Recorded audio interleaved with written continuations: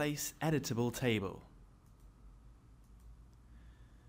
Create a BOM table for the reducer assembly part.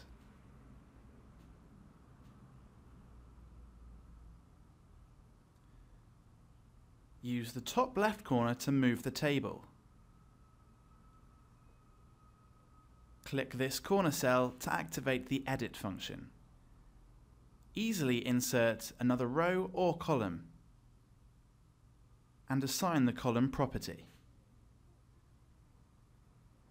Table information is automatically updated. Select any column or row and you can delete it directly.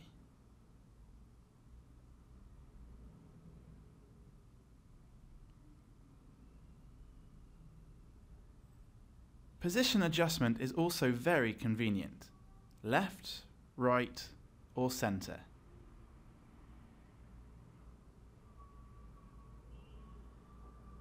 Double-click on the column title to change the item.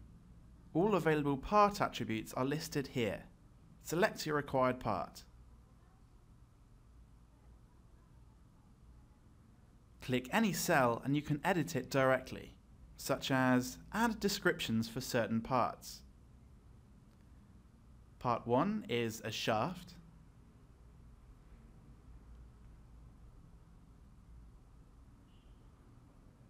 Part 7 is a bearing.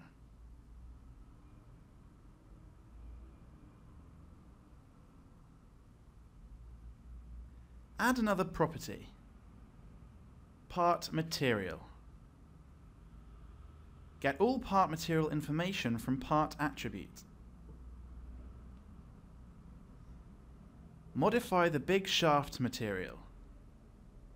42 CR.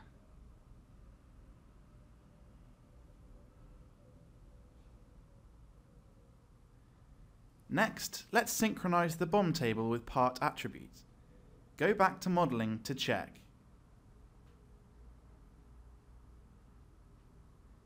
This is the big shaft part. Check part attributes. The material is updated. 42 CR.